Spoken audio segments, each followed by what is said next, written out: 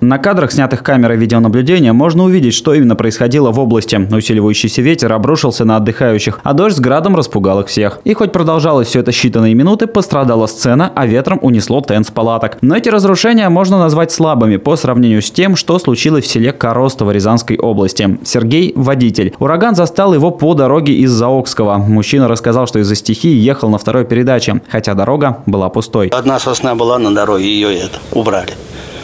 Освободили, да, с дороги. Там сосны.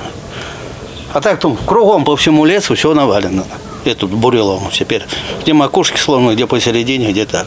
Основной удар на себя принял именно лес. Там, где еще утром нельзя было увидеть солнце, сквозь кроны деревьев сейчас чистое небо. Сосны, выдернутые с корнем, лежат повсюду. Некоторые из них перекрывают сельские дороги. Местные жители насчитали свыше 20 поваленных деревьев и 30 поломанных стволов. Здесь применима поговорка «чем дальше в лес, тем больше дров». Поломанным соснам, кажется, нет конца и края. И хоть именно они, возможно, защитили село от больших разрушений, Коростово все равно пострадало. Буквально следом за лесом расположен памятник воинам Великой Отечественной войны. Пострадала мемориальная доска с именами участников. Обломки до сих пор лежат рядом с памятником. Будут ли его восстанавливать, неизвестно. А вот для сельских жителей ураган превратился в обычный ливень. Последствия совсем небольшие. У меня на веранде выдавило раму целую.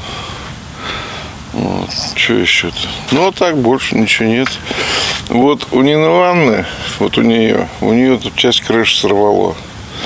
Вот ребят меняли. Березы гнулись, ломались. И вот, ну, видно по, по соснам, как они ломались. С середины сосны ломались, гнулась. Береза еще выдерживала, а вот сосна, она хрупкая поломалась. Как раз поломанные сосны, выдернутые с корнем из земли, стали печальной местной достопримечательностью. Заметить их можно при въезде в село. Деревья сразу бросаются в глаза. Поваленные деревья, как следы недавнего урагана, до сих пор лежат в лесу при въезде в Коростово.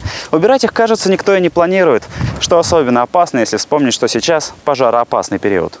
Наша телекомпания отправила запрос, чтобы узнать, уберут ли упавшие деревья. Мы будем следить за развитием событий. Валерий Седов, Игорь Глотов, телекомпания «Город».